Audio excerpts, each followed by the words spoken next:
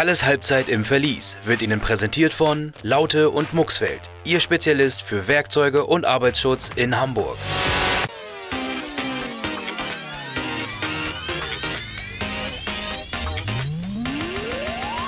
Willkommen zu Kalles Halbzeit im Verlies, ihr Amateure.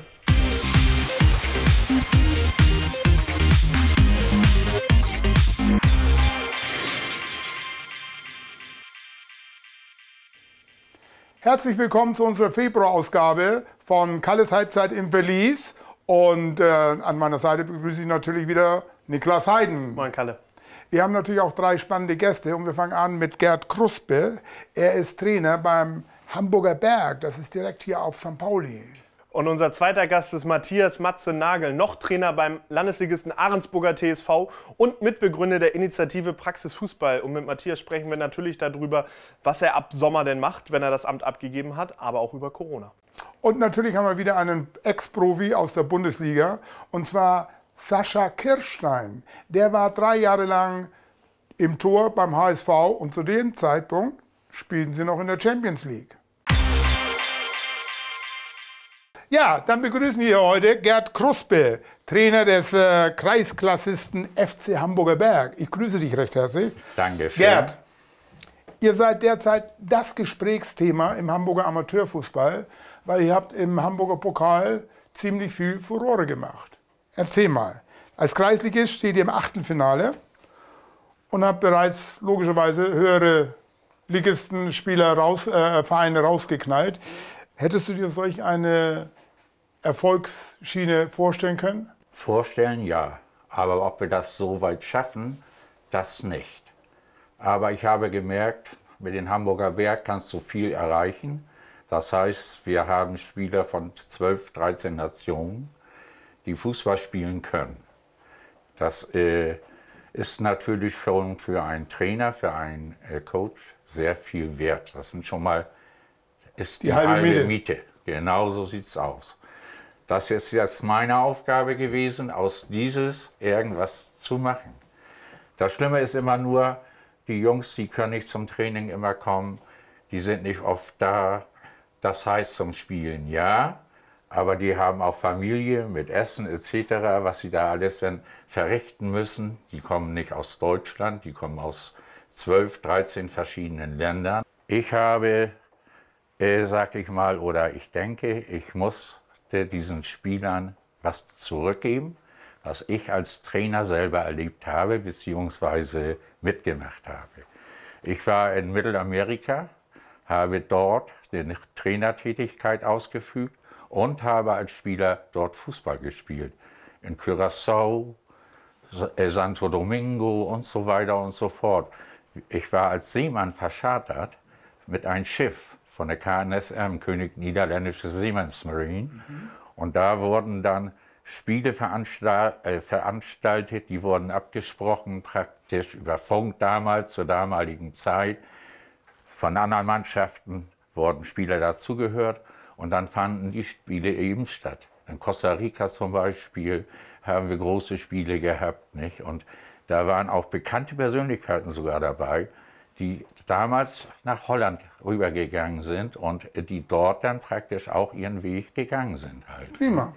Aber Weg gegangen ist das richtige Stichwort. Ihr habt den Bezirksligisten Heidgraben rausgeworfen. Ja. Ich meine, was macht euch jetzt in, diesen Pokal, äh, in dieser Pokalsaison so stark? Was glaubst du? Äh, unsere Stärke, äh, Stärke ist äh, damit, äh, sag ich mal, äh, ja, die können wir so beweisen. In dem Moment, ich hatte das schon von Anfang an gesagt, Kalle, diese Mannschaft ist 50 Prozent, hat sie eine Stärke. Und ich habe die Erfahrungswerte, diese Mannschaft, diese Stärke praktisch zu übermitteln.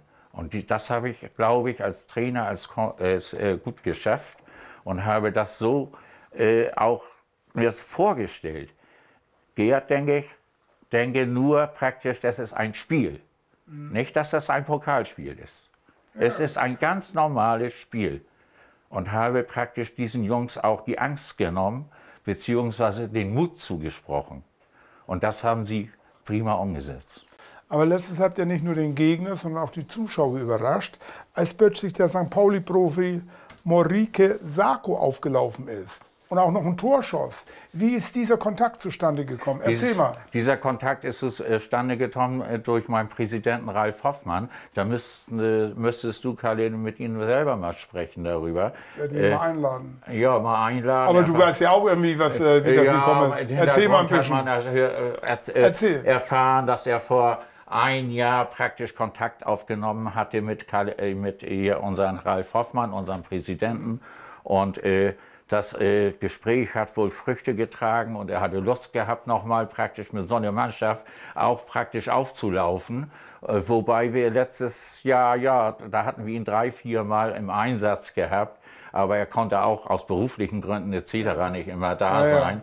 Dieses Jahr ist er das erste Mal praktisch im Pokal aufgelaufen. Nicht? Wir Und schießt gleich ein Tor. ja, er hat aber das Tor, muss ich ganz ehrlich sagen, nicht alleine geschossen. Naja, das immer ein Mannschaftssport. Nein, das ist, aber die anderen haben ihm dazu auch geholfen. Naja, Natürlich hat der Morike hat einen Namen von St. Pauli. Das ist auch richtig Klar. so. Ist auch schön, äh, dass dieser Name bei uns auf dem Hamburg, äh, am Hamburger Berg hier auftritt. Passt doch Ah, alles, Kiez. Das passt natürlich. Aber ich finde aber auch, man darf die anderen Spieler, die ihn Vergessen dazu. wir auch nicht. Nein, das ist für mich ganz wichtig. Ist als sogar ganz Trainer klar. Es ist und, die und Mannschaft. Wie gesagt, äh, diese Erfolge, die ihr im Pokal erzielt hat, das ist wirklich ein Mannschaftserfolg. Das ist ein Mannschaftserfolg, das muss man auch so sehen, Kalle. Sehe ich auch so. Ne?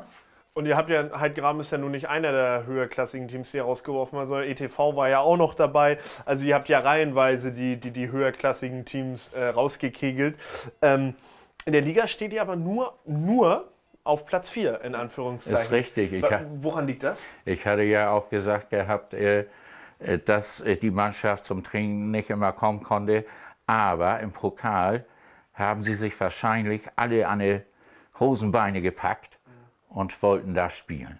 Und ich hatte das Glück, also jedes Mal die ganze Mannschaft praktisch, die stärkste Mannschaft hinzustellen, praktisch aufzustellen. Und das ist natürlich als Co- Coach irgendwo, sage ich mal, besser kann man ja gar nicht leben. Nicht? Und sie haben mir das voll zurückbezahlt, auch im Endeffekt. Nicht? Und jetzt wartet wieder ein Bezirksligist, Harburger SC. Ja, Also geht's weiter. Es, ja, äh, ich sehe das so. Ich, also ich sehe das als ganz normales Punktspiel, diese Spiele an. Sie, haben, sie brauchen sich nicht zu verstecken. Sie sollen mutig raufgehen. Sie müssen den, äh, äh, die Mannschaft stressen. Das ist wichtig. Vorne schon anfangen zu stressen, dass wir ins Spiel kommen, unser Spiel aufziehen können. Nicht warten, bis die dann irgendwann mal so die Stärke haben, wie sie spielen möchten. Das müssen wir vermeiden. Ähm, und wie bist du zum Hamburger Berg gekommen? Ich meine, das ist ja nun auch, äh, äh, korrigier mich, allzu lange gibt es euch ja auch noch nicht. Ähm, wie, wie, wie wird man da Trainer? Ja, das ist eine, würde eine lange Geschichte äh, sein. Ich bin von. Auch wir haben Zeit. Ja, aber ich So bin wie von, auch nicht. Nein, so viel auch nicht. Sehe ich auch keine Kurz, also- aber angesprochen werden muss es. Ganz ja, wichtig. natürlich. Ich habe mein letzter Verein, oder da bin ich immer noch tätig oder Mitglied in SV Osterfer Born. Da war ich Trainer, da war ich Obmann, da war ich Chef- Geschäftsführer und alles Mögliche habe ich da praktisch mit als Obmann gemacht. Und äh, vor ja, drei, vier, fünf Jahren äh, habe ich dann irgendwann mal gesagt, Gerd, jetzt ist Schluss. Ich habe ein Alter erreicht, sage ich mal, wo ich das auch verdient habe, mal meine Flasche Bier an die Seite zu Wie alt trinken. bist du so sprich? Ich bin 73 Jahre Respekt, nicht? Respekt. Und, und habe ja 55 Jahre mit Sport zu tun. Nicht?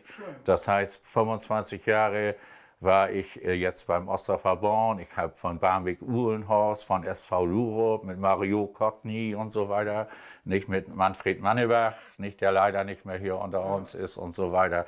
Nicht? Dann habe ich Wohltätigkeitsspiele veranstaltet mit dem UKE, mit Ärzte, Professoren und so weiter. Ein Herz für Kinder, die operieren da, ja, die haben Aber Wohltätigkeit ist so ein Stichwort hier. Ihr macht ja nicht nur Wohltätigkeitssachen, sondern auch spektakuläre Sachen. Ihr habt zum Beispiel äh, die, mit dem Hamburger Berg, mit dem Verein diverse Weltrekorde aufgestellt. Zum Beispiel im längsten Balltribbling. Richtig. Und ihr habt auch das längste Fußballspiel der Welt gespielt. Richtig, der Ralf Hoffmann, der lässt sich da immer was einfallen und immer wieder was Neues äh, äh, hebt er hervor, um irgendwo, sag ich mal, den Hamburger Berg herauszuheben. Naja, Aber zwei ja, Weltmeistertitel ist ja, ja schon mal aber was, nicht ne? für sein, in, auf, in seinem Namen, sondern für den Verein, Für den klar. Verein. Das wissen wir auch Mal. zu schätzen, ne? Und das ist natürlich äh, äh, eine tolle Aufgabe, die einen auch äh, irgendwo Wie ist da die. Motivation? Sind die alle Feuer und Flamme, um dabei zu sein mitzumachen? Weil, wie gesagt, wie lange ging das längste Fußballspiel der Welt? Oh, das längste Fußballspiel der Welt, das ging 113 Stunden, soweit ich weiß. Und äh, ja, und äh, dann haben wir den, den Triple-Rekord da auch, auch erstellt und sind dann da auch weitergekommen, sag ich mal. Nicht? Mit unseren Gedankengänge sind, da führen sie hinaus, Leute zu helfen. Das ist gut. Wir wollen auch ein bisschen helfen, und zwar deiner Cafeteria zu Hause. äh, ja, du trinkst wahrscheinlich Kaffee, ja? Ich trinke gerne Du hast Kaffee, jetzt die ja. Wahl der Qual hier einmal zwischen Domina Espresso oder Derby-Sieger. Bezieht sich natürlich auf St. Pauli und HSV. Welchen Kaffee möchtest du gerne mitnehmen? Ich nehme den Derby-Sieger. So soll es dann sein. Recht herzlichen Dank für das wunderbare Gespräch und für die Information und viel Erfolg weiterhin im Hamburger Pokal. Und vielleicht sehen wir uns ja wieder als Pokalsieger. Würde mich freuen. Kalle, ich danke für eure Einladung hier. Sehr gerne. Nicht? Und das tut uns auch gut, den Hamburger Berg, damit man auch mal eine Geschichte ein wenig von Hamburger Berg erfährt, die jetzt, glaube ich, auch irgendwo ein Name in Hamburg sich geschaffen Das meine ich haben. gerade mal mit zwei Weltmeistertiteln. Und für die nächste Runde drücken wir natürlich die Daumen. Recht herzlichen Dank dafür.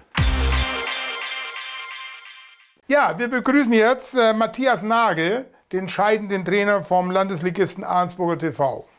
Nee, TSV. Matthias, nach sechs Jahren ist jetzt Schluss als Trainer. Erzähl, was für Gründe sind dafür? Ja, erstmal danke natürlich für die Einladung hier heute. Und Gerne. ähm, ja, starke Location hier. und ähm, ja, ich habe für mich halt ähm, im Oktober den Entschluss gefasst, einfach mal eine Pause einlegen zu wollen. Äh, jetzt nach sechs Jahren als Trainer in Arnsburg, ein Jahr davor noch als Ligamanager. Und ähm, denke einfach, es ist ein guter Zeitpunkt, sowohl für mich, einfach mal so ein bisschen durchzuatmen. Und ich glaube auch, ähm, dass ehrlicherweise für die Mannschaft das auch sinnvoll ist, einfach mal einen neuen Input zu bekommen über einen neuen Trainer. Und äh, deswegen ist die Entscheidung so im Oktober gefallen und auch dann sehr frühzeitig dem Verein gegenüber kommuniziert Die worden. Leute haben sich schon ein bisschen äh, gewundert, weil du hast den Verein ja nun äh, von der Kreisliga in die Landesliga geführt und zusammen mit dem äh, Co-Trainer Jan Fricke, der sogar zwölf Jahre da war. Und da wundern sich die Leute schon mal ein bisschen. Also das ist nur dieser Entschluss von dir gewesen, diese Überlegung, oder steckt dir da was anderes hinter? Nein, also ähm, ich wurde ja auch in den letzten Wochen, jetzt äh, seitdem das publik ist, häufiger gefragt. Und äh, es war für mich nur der Entschluss zu sagen, ich mache jetzt für mich eine Pause. Äh, ansonsten ist in Arnsburg eigentlich alles soweit in Ordnung. Es ist ein tolles familiäres Umfeld. Ähm, sicherlich können wir in einigen Bereichen in den nächsten Jahren noch zulegen, um einfach äh, auch das Umfeld so ein bisschen noch mehr Landesliga-tauglich zu machen.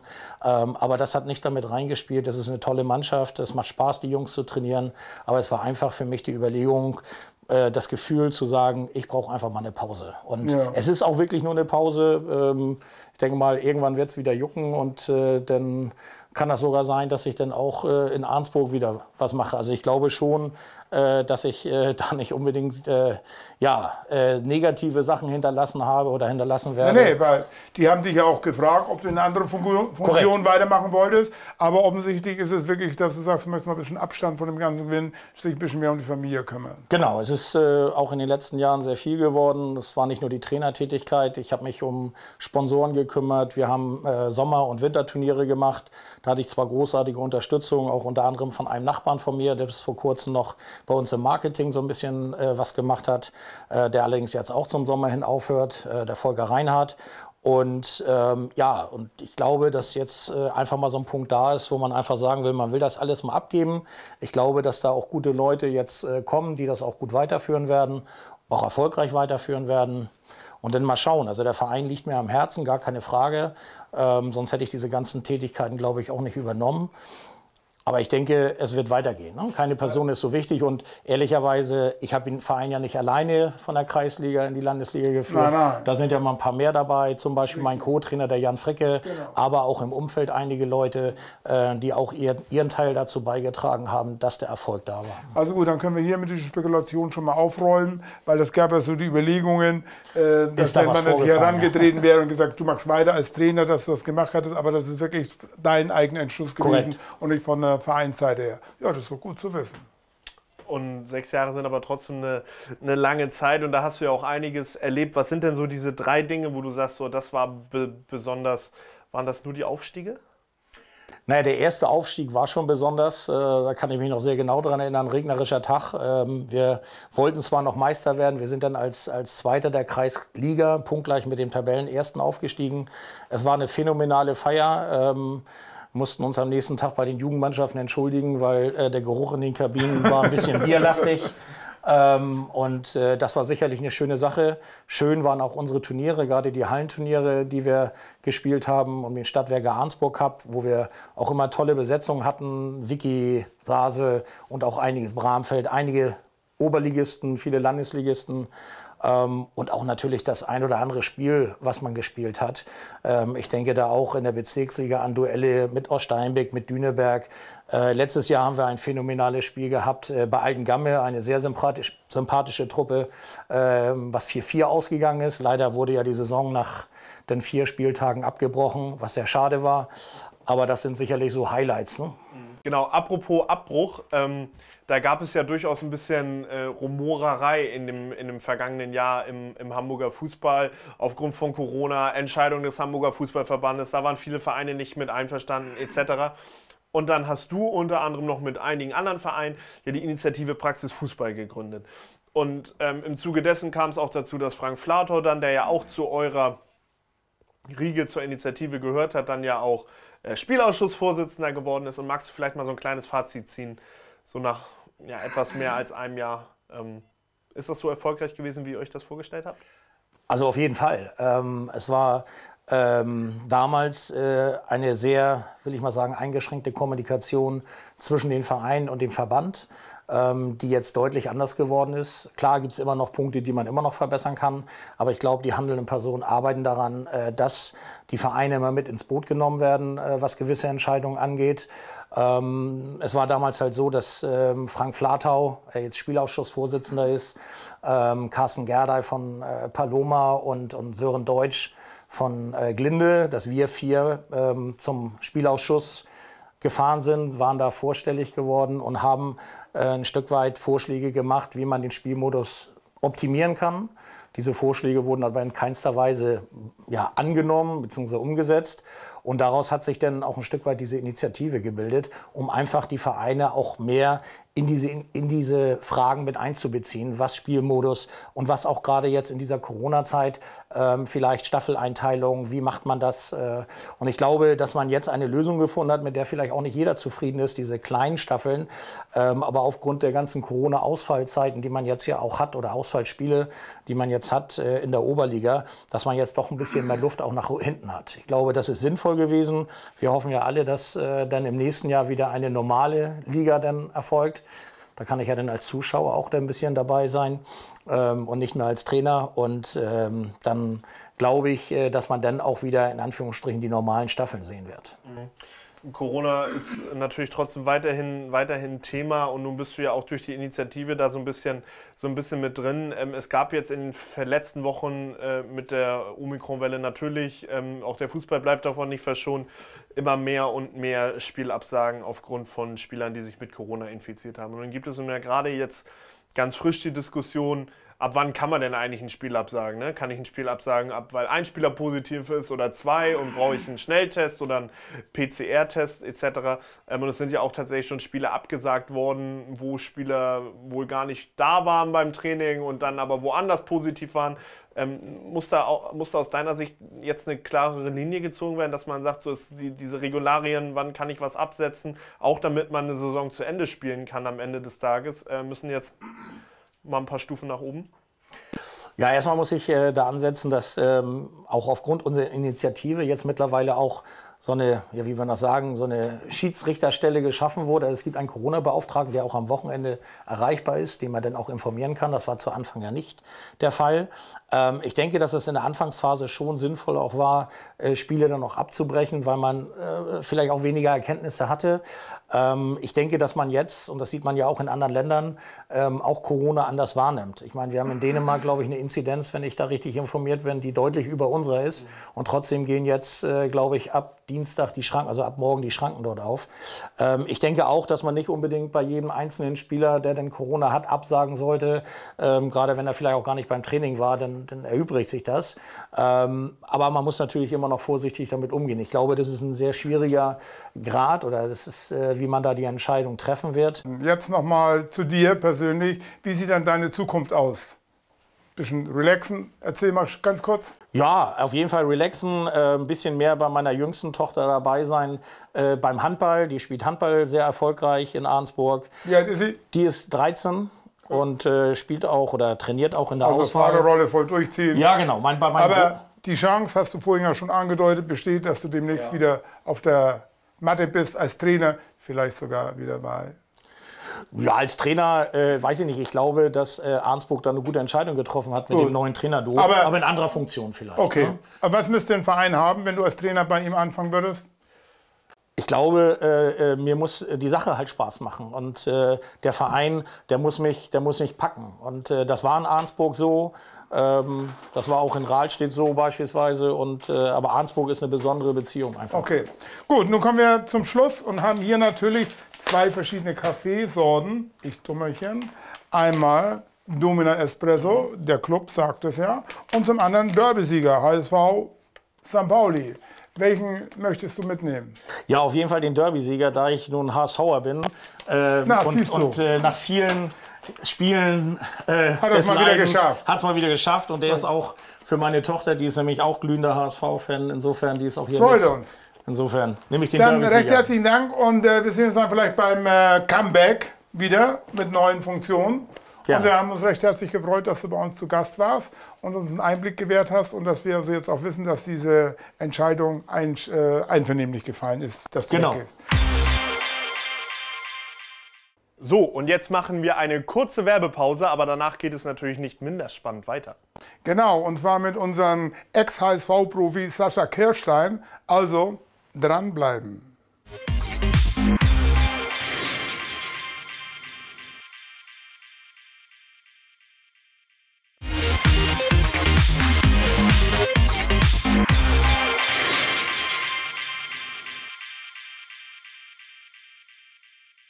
So, ich freue mich hier, Sascha Kirstein begrüßen zu dürfen, Ex-HSV-Torwart. Freue mich, dass du gekommen bist. Dankeschön für die Einladung. Du hast äh, vor 14 Jahren beim HSV gespielt, Ja, drei Jahre lang. korrekt. Und zu dem Zeitpunkt war der HSV ja wirklich noch vorne. Du hast auch in der Champions League mit ihm gespielt. Ja, das stimmt. Äh, Erzähl mal ein bisschen, welche Erinnerungen hat man so noch daran? ich habe sehr, sehr gute Erinnerungen. Dass wir, Wir sind neugierig. ja, dass wir erstmal die Qualifikation geschafft haben in Osasuna mit dem 1-1. Äh, dann die äh, geschafft haben, in die Champions League reinzukommen. Und natürlich, für mich war das legendär. Das erste Spiel natürlich gegen Arsenal London, wo noch Jens Lehmann im Tor war. Und nach zwölf Minuten hatte ich äh, Van Persie eine Schwalbe gemacht bei mir und ich habe gleich rote Karte bekommen. Kurzer Auftritt. Kurzer Auftritt, ja, aber das war mein erstes Spiel von drei halt. Ähm, da gab es noch keinen Videobeweis, sonst hätte es Ja, ja, jetzt äh, funktioniert, äh, dass ich dann freigesprochen werde. Wie blickst du denn heute auf die Zeit in Hamburg zurück? Du hast ja sehr viel gespielt. Du hast ja, glaube ich, ja 23 Spiele für den HSV gemacht in der Bundesliga und auch ähm, 137 in der zweiten Liga. Na? Also, wie blickst du denn so auf deine HSV-Zeit zurück? Ja, ich glaube, drei Jahre. ja, die drei Jahre oder auch als, äh, allgeme- allgemein meine 19 Jahre Profi waren sehr, sehr interessant. Ähm, HSV war natürlich legendär, dass ich da jetzt mal hingekommen bin von Rot-Weiß Essen, Aufstieg in die zweite Liga, aber dann wollte mich Hamburg unbedingt haben. Ähm, war super mit Piekenhang, der noch da war, der dann weggegangen ist, mit Stefan Wächter. Ähm, auch die Zeit, also wer alles da war, ob äh, Benny Laut, äh, Raphael van der Vaart, Nigel Young, also sind äh, Leute da, die, die kennt man jetzt noch vom Ja, Namen her. ja, Äh, äh, in Wie gesagt, Hamburg. HSV war damals ein großer Verein in Hamburg, in Deutschland. Ja, war sehr, sehr, sehr Ist ja interessant. auch, aber- ja, klar, aber die kommen auch mal wieder dahin. Und äh, erstmal in die erste Liga.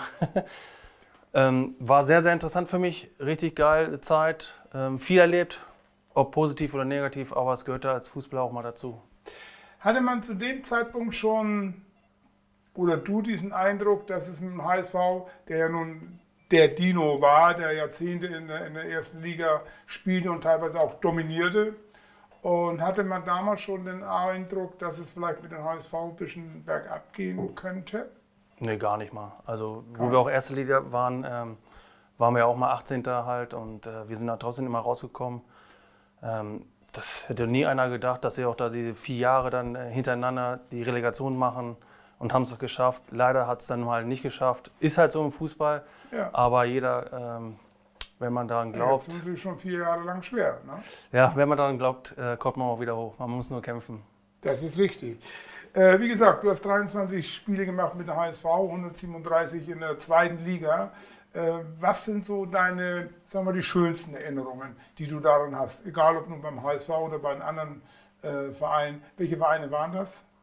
Ja, ich habe bei Rot-Weiß Essen angefangen, dann HSV, Kräuter Fürth, Ingolstadt, Erzgebirge Aue, äh, Rot-Weiß Aalen in Rumänien, der allererste deutsche. Du warst der erste Torwart, äh, äh, deutsche Torwart, der in Rumänien in der ersten Liga spielte. Genau, ich das habe ich auch, auch drauf gekommen nochmal. Äh, genau, das äh, habe ich auch erlebt und äh, war sehr, sehr interessant, auch ähm, allgemein die 19 Jahre, die ich erlebt wie, habe. Wie kam der Kontakt zustande nach Rumänien? Ähm, durch Charles Taki, der auch früher bei St. Pauli und HSV gemacht hat, äh, der hat einen Manager halt gehabt und hat gesagt, äh, wir brauchen unbedingt mal in Timișoara in Rumänien, äh, zweitgrößte Stadt, ein Torwart in der ersten Liga und ähm, bin nach Slowenien äh, hingeflogen, um da ein Probetraining mitzumachen. Und beim ersten Tag hat es dann gleich funktioniert. Wie lange hast du da gespielt? Elf Monate. Elf Monate. Und genau. Äh, welcher Punkte stand beim, äh, wo stand die Mannschaft? Ja, wir hatten dann zum Schluss dann noch ein bisschen äh, Stress gehabt, weil die ähm, sagen, die unterschreiben was. Also man unterschreibt, zwei Wochen später sagen die, äh, ja, ja finanziell ist doch nicht so toll. Er wird dann ein bisschen halt, äh, hin und her diskutiert, mhm. verklagt und dann durfte ich auch zum Schluss dann nicht mehr spielen, weil die wollten ja unbedingt, dass ich äh, Gehaltkürzungen mache. mache habe ich aber dann nicht gemacht ja, ja. mit äh, Straftraining. Ich habe immer alles durchgezogen, ist egal bei welchem Verein ich war. Ob auch im Erzgebirge Aue war ich auch mal zweiter Torwart, weil Falco Götz ähm, der Trainer war und das Publikum halt einen anderen Torwart im Tor haben wollten und äh, ja, ich mich da trotzdem durchgequält habe. Und in Rumänien war es dann so, äh, dann sind sie abgestiegen. Ich war da nicht mehr im Tor und dadurch, dass ich die halt so ein bisschen verklagt habe, mhm. haben, durften die trotzdem in der ersten Liga bleiben, aber mit minus 16 Punkte gleich gestartet. Oh, oh das ist eine Strafe, mein lieber Jolly. Ja. Minus 16, die kannst du ja nicht mehr einholen. Das ist ja, das geht ja nicht mehr. Ähm, du hast im und Jan, was waren denn nun so in, in, Deutschland so deine, deine Highlights hier in der zweiten oder ersten Liga? Was waren da so deine Highlights, wo du sagst, Mensch, das war damals klasse gewesen? Ja, alles allgemein. Also die ganzen 19 Jahre fand ich Highlights. Ob erste Liga, ja, zweite Liga. so mal ein, zwei Punkte, wo man sagt, man, da war was so. Wie du sagtest zum Beispiel hier beim Champions League, da hier fliegst gleich da hier nach ein paar Minuten raus vom Platz und so kannst du ja auch mal was Positives geben. Ja, auch die, äh, halt die Mitspieler halt. Ne? Wenn man, es ist ja nie irgendwie mal rausgekommen, dass die ja in der Kabine da rumgefeiert haben oder in Osasuna, wo wir die äh, Champions League langsam geschafft haben, dass wir einen Club übernommen haben, dass da Spieler mit Jackies äh, Flaschen rumgelaufen sind. Das kam ja nie nach außen oder wir da war so ein ganz Das ist auch gut so, dafür sind wir ja, dafür, Mannschaft. Ja, dass, dass wir so ein ganz langer Gang war im Stadion in Osasuna, dass da so eine Smirnoff-Palette war und wir haben da immer die Getränke mitgenommen und am nächsten Tag äh, kam der Teammanager und gesagt, wir haben eine CD aus, aus Osasuna bekommen. Ja, guck mal. So, oh, super, das Spiel oder was? Nee, haben, hat man uns gefilmt, wie wir die Flaschen da weggenommen haben.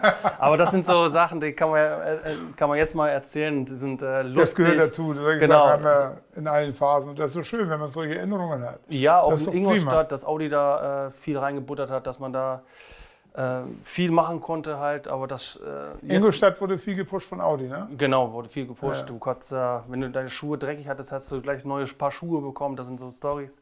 Ja. Ähm, die kann man ohne Ende bezahlen, dass die, dass die Zeit sich einfach änderte zum Moment. Ne? Die Jugendspieler viel äh, fördern, wo die noch nicht viel geleistet haben. Ne? Das sind ja Generationen, die früher musste ich Kisten schleppen, jetzt gibt es einen Zeugwart. Also, ja, äh, die Zeiten, die Zeiten ändern sich. sich. Ne? Ist ja auch beim Konto sieht man das ja auch drin, wie sich das ändert, die ganze Geschichte. Ne? Ja. Und ähm, 2017 hast du deine Profilaufbahn beendet. Genau. Was hast du dann gemacht, wenn ich fragen darf? Ich hatte meinen äh, eigenen Getränkemarktladen in, Ka- in Bergkamen, Kamen, ähm, habe da vier Jahre gearbeitet, äh, Unternehmen von Rewe halt und jetzt äh, bin ich seit vier Monaten in Seevetal, arbeite da äh, in, bei Lidl. Äh, verfolgst du so noch ein bisschen so die HSV-Spiele, wie das so ist, oder ist das ferne Liefen? Weil du bist ja da schon 17 Jahre weg und hast in anderen Vereinen dann gespielt. Ja, ich gucke das schon, ähm, ähm, Aber die Spiele, ob es jetzt Pokalspiel Emotionslos. Na, also ich hoffe schon, dass sie gewinnen, so wie das Pokalspiel, was sehr, sehr spannend war gegen 1. FC Köln, was entscheidend war Also mit da dem habe ich auch das habe ich auch noch nie erlebt. spannendsten gesehen. Und äh, ich wusste, kannte zwar die Regel, aber ich habe sie noch nie gesehen. Ne, Mit zweimal berühren, den Genau. Ball. Ne? Ja. Und die HSV-Spieler, die wussten das sofort. Die sind gleich dann hier losgerannt und haben gejubelt, während die anderen noch ein bisschen verblüfft waren. Ne? Ja, aber das, ist- das passiert eine allen Regel, Fußball. ja. Das ist so Aber ist es dir schon mal passiert, sowas beim Elfmeter? Nein. Nee, also ich meine, du bist nur ein Torwart. Also wenn jemand da, äh, damit äh, konfrontiert wird, dann der Torwart. Aber wie gesagt, ich habe es auch noch nie gesehen. Ne? Nee, so, also, so eine Geschichte. Das ne? ist mir auch noch nie. Äh, also Und dann beim letzten Elfmeter, also das war schon sehr, sehr packend gewesen. Ne? Auf der anderen Seite, St. Pauli haben ja auch eine Meisterleistung abgeliefert gegen Dortmund. Ja. Ne? Also das war so schon à la Bonheur. Das muss man sagen. All, alle beide Teams, ob St. Pauli oder Ham, Hamburg SV, haben in den Spielen DFB-Pokal super Dann Leistung gab es gleich hinterher das Derby direkt Genau. als Antwort, was der HSV glücklich gewonnen hat. Nur was heißt glücklich? Ja gut, sie haben es gewonnen, das war also ein korrektes Spiel gewesen. Mhm. 2 zu 1 ist ja nicht so eine Klatsche. Und ähm, was glaubst du denn, wer dieses Jahr das Rennen macht von unseren beiden Hamburger Lieblingsvereinen? Ja, ich denke mal beide. Ne? Also sollten eigentlich beide aufsteigen. Aber ähm, auch am die Saison ist ja noch so lang, kann man nur sagen. Ne, ein paar Spiele sind da noch so. Wenn sie so die, äh, die Taktik oder was sie jetzt im Pokal gemacht haben oder in den Spielen so weiter umsetzen, ihre Chancen umsetzen, ähm, dann denke ich mal schon, dass sie äh, sehr viele gute Chancen haben oben. Ähm, man muss aber jede Woche immer dran glauben, ah, viel hart arbeiten. Und am letzten Tag, wenn die Meisterschaft ist, dann kann man das ausnutzen. Das ist ja das Problem immer, dass, wie gesagt, immer der HSV die letzten Spiele abgekackt hat. Muss man einfach brutal Ja, die letzten sagen. Jahre, das stimmt, so, dass sie vielleicht noch einen Sieg holen mussten und das dann nicht geschafft haben, ob es in Braunschweig war oder was, was, was für Geier, die einfach nur einen Sieg noch brauchten und haben es dann einfach nicht geschafft. Also ich hatte, als äh, St. Pauli gewonnen hat, habe ich einem Freund eine SMS geschickt. Ich sage, wir sehen uns beim Pokalfinale HSV gegen St. Pauli, nachdem beide aufgestiegen sind. Ja, das Das wär- wäre der Traum. Ja, Träume kann man Ne? immer viel äh, Ja. glauben und man kann auch die Hoffnung. Ne? Also so mussten, was meinst du, ich, ich komme ja nun überall rum, ne? was meinst du, was ich zu leiden hatte die letzten Jahre äh, in München und sonst wo, wenn ich irgendwo kam, Mensch, was macht der HSV dann und so. Damit muss man leben, ich bekenne mich ja zu Hamburg und bekenne mich auch zu beiden Vereinen. Aber es wäre ja schön, wenn man jetzt sagen könnte, hier, wir sind wieder endlich mal eine Großstadt mit zwei Vereinen. Ja. Weil, äh, Berlin ist ja lächerlich, verstehst du, die sogenannte Hauptstadt. Äh, wir sind die Fußballstadt als solche. Ja, das stimmt. Das hoffe ich auch, dass beide Mannschaften so äh, auch wieder so ein richtig geiles Derby gibt. Mit natürlich Zuschauern, wenn es mal wieder äh, Ja, rein das soll. ist Ne? Das ist natürlich so als. Fußballer, denkst du, ist wie ein Trainingsspiel.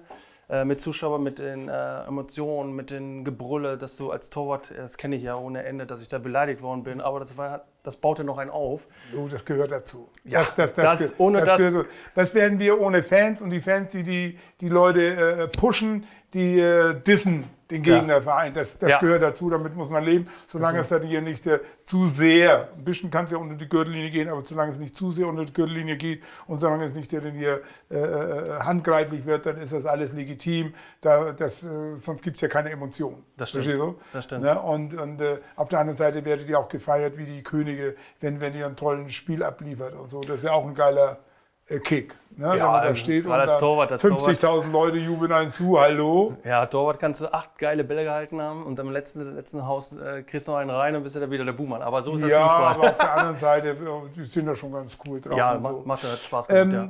Und im, Amateurbereich so, äh, in, in, im Amateurfußball, da etwas zu machen? Also jetzt als äh, aktiver Spieler. Nee, nee, jetzt, als aktiver Spieler. Ja, da, ich Aber sondern so eben als auch Torwarttrainer oder so weiter. Ja, Jemand wie, wie du, der, der, der so viele äh, Ligaspiele hat, der im Ausland auch gespielt hat, in Rumänien, äh, Champions League, äh, der, der hat natürlich eine Erfahrung und wo ich mir vorstellen könnte, dass dann die jungen Torwartspieler äh, Spieler bei, bei Vereinen, dass sie da schon aufsaugen, was der Ja, zu sagen hat und zu zeigen hat. Ich habe ja die letzten Jahre ähm, drei äh, Torhüter gehabt, ob 10 Jahre, 16 Jahre und 18 Jahre.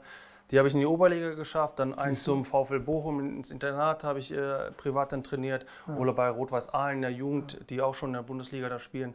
Also das habe ich schon äh, geschafft äh, zu trainieren, privat Weil halt.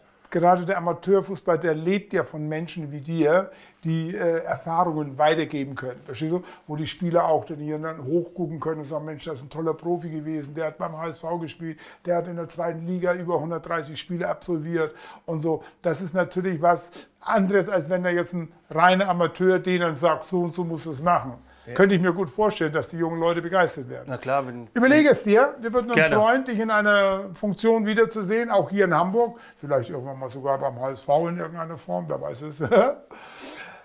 so, wir hatten ja gesagt, du trinkst gerne Kaffee. da haben wir stimmt. natürlich für dich jetzt hier. Und da machen wir jetzt, fragen wir gar nicht drum herum. Wir haben einmal hier den Domina Espresso, angelehnt an das Verlies.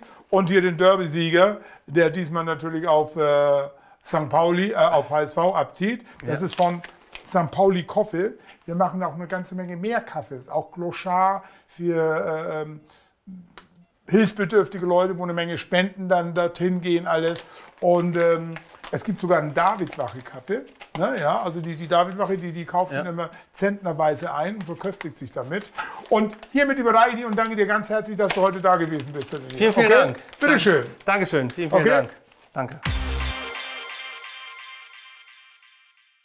Und natürlich darf auch im neuen Jahr unsere Rubrik Kalles Stille Helden in dieser Sendung nicht fehlen. Und diesmal haben wir wenig überraschend, weil wir ihn auch in der Sendung zu Gast haben, jemanden da, der ein bisschen was über den Hamburger Berg erzählt. Bitteschön. Ich möchte mich ganz recht herzlich bedanken, einmal für die Einladung hier bei Kalle und äh, des Weiteren bei meiner Mannschaft, den FC Hamburger Berg, die mir die Chance gegeben hat, mit so viel Personen, sag ich mal, Trainings zu gestalten, Siege heimzufahren und so weiter und so fort. Aber was sportlich betrifft, ganz zum Schluss, denke ich mal, hat der Ralf Hoffmann einen großen Anteil dazu beigetragen, dass das überhaupt alles so geklappt hat mit uns. Zum Schluss möchte ich recht herzlich bei meiner Familie Dankeschön zu sagen an meine beiden Töchter Nadine und Nathalie, die immer zum Vater, zum Papa gestanden haben und meine Lebensgefährtin, die immer da war und alles mitgemacht hat. Und sonst hätte ich das auch nicht erreicht, auch sportlich und anders mein Leben gestalten können. Danke, Helga. Das war unsere Februarsendung Kalles Halbzeit im Verlies. Wir hoffen natürlich, dass ihr Spaß beim Zusehen gehabt habt und auch Neues und Interessantes erfahren habt. Genau, wir sehen uns wieder am Montag. Hier fliegen schon die Karten. Wir sehen uns wieder am Montag, 7. März um 20.15 Uhr hier bei Hamburg 1. Bye bye.